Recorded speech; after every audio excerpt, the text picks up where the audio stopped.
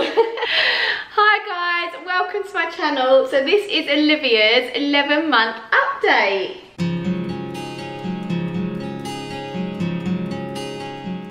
Can you believe it? This one is nearly one. You're nearly one.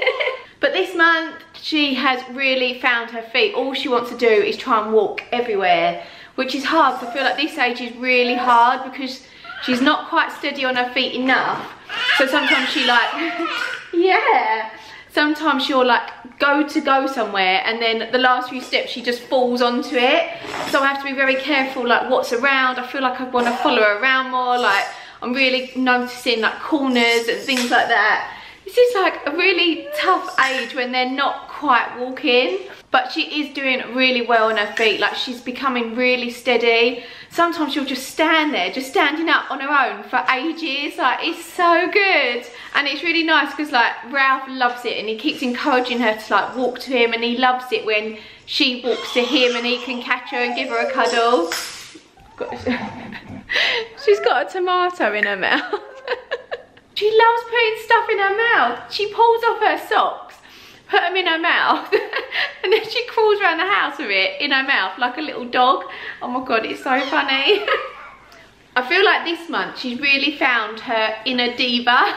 like she was always my calm one, but when she doesn't want to do something, look, she doesn't want to sit on my lap, so she's having a little uh, moan. There you go, you can go and sit there. I was like, you was my calm one. Like Ralphie's my crazy one. But she's um she's becoming a lot more like Ralph. but one exciting thing this month, Olivia had her first haircut, didn't you? She's not playing ball today. you don't want to be in this, do you? But um yeah, it wasn't like it was too long. It was just it really needed needed neatening up like a few bits were coming into her eyes and I've just given her like a little bit of a trim and putting it back into like so it's all neat again. But she was such a good girl like it was perfect timing. She just woke up from a nap. She was having a little biscuit. I think she was more interested in the biscuit than she was the haircut. She's found her music toys. In terms of toys and things that Olivia's into feel like there's a few things that she loves that will always hold her attention. One being my phone. You love mummy's phone, pushing it across the floor, dropping it. Yes. She still loves this pop-up frog. You do it? This little train has been really good, but what she likes is these bits because they all pop up when you press these buttons. But what she likes the most is pushing them back down. That's it.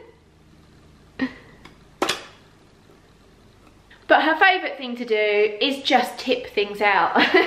like, she loves anything in pots like this. If I just put some play food and she'll just tip it in and out. She loves pulling all her clothes out of her drawers.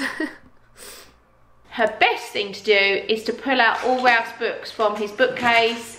Anything she can just do this with. Packet of baby wipes, you know, the wipes are just one after the other. She loves it. So I said in my last update that Olivia's become a little bit more clingy. And it's definitely been since her teeth have come through. She's got four teeth now, her whole front ones. One's still on its way down. Um, but she just wants me all the time. Whoever's holding her, she wants me. Um, it's been quite hard because she's not really wanted to be put down. She just wanted to be cuddled all the time. But then when you're picking her up, she wants to be put down. As soon as you pick her down, she wants to be picked up. Like, it's been really hard work. But this clinginess has also affected her sleep. And where I used to be able to just put her in her bed, she could be wide awake and she would just go to sleep by herself. Now, she screams if I leave the room. And you probably saw it on one of my last vlogs. Like, it's awful. It's And what is like 10 minutes feels just like two hours. So I've been doing the Ferber method. I think it's that's what it's called. Where you walk out, then you go back in, soothe them, walk out, go back in. And I only leave her for like one minute because I literally can't bear to hear her cry for longer than that. And it probably only takes like 10, 15 minutes and she goes to sleep, but then she's getting proper sleep because she has gone to bed by herself. And we've been doing it for about a week. It's been horrendous. But it's got better and better each day. That the other day I actually put her down awake again and she went straight to sleep, no tears.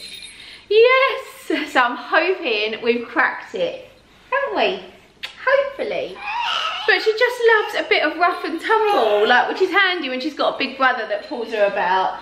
What they like to do is all her cushions on our sofa, they pile them up in the middle and we get extra blankets and stuff like that. And Ralph and Olivia just climb up and jump off into them.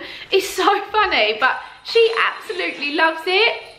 We've been to the soft play quite a lot as well, which she loves because she just loves climbing on things. She's constantly trying to climb up the stairs. But there, obviously, it's really good because everything's padded and she can't hurt herself. So in terms of Olivia's routine, it's pretty much similar to last month. Um, she'll wake up between 6 and 7 o'clock in the morning. And the one thing I have changed is that when she wakes up, I used to give her her milk straight away, but I'm actually giving her her breakfast first now. So about seven o'clock, she will have her breakfast. And then 8, 8.30, she will have her milk. And I've changed it because obviously we're gonna be start sort of weaning off milk soon. And once she's 12 months, she'll go on to cow's milk. And the idea is, is that she takes more breakfast and less milk and that way she'll know how much she needs because she'd have already sort of filled up on her breakfast. I'd say about 10 o'clock now she's going down for her morning nap. what is it you want? I'll get it, I'll get it. 11.30 she'll have her lunch and she loves finger food so this will normally be oh. like a picky lunch and then about sort of 1.30 she'll have her milk but after that bottle that's when she'll have her next nap and then she'll normally have around an hour for that we will then have dinner about five o'clock and we try to do a meal that we can all eat. So I might just blend things up for Olivia, but it's so much easier if I can just cook one thing that the whole family eats. And then at seven o'clock, she will have um, her last bottle of the day. Obviously, she'll have a bath before. She'll have her bottle and then she will go to bed. Thanks so much for watching and I'll see you next time. Bye.